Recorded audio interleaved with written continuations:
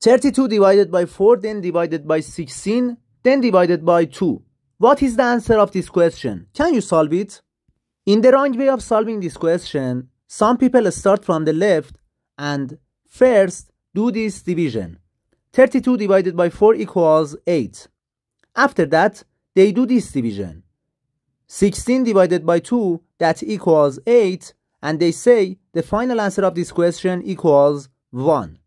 But this answer is wrong. When performing multiple divisions in a row, we proceed from left to right. Okay guys, we have 32 divided by 4 that equals 32 over 4 and the final answer of this part equals 8.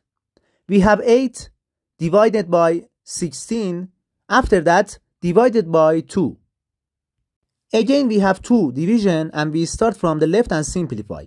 8 divided by 16 equals 8 over 16 and because the numerator and the denominator of this fraction are divisible by 8, we divided both by 8. We have 1 over 2 divided by 2. The simplified answer for this part equals 1 over 2 divided by 2. To solve this part, we need to follow the KCF rule. KCF means keep the first fraction or number, then change the sign, then flip the second fraction or number.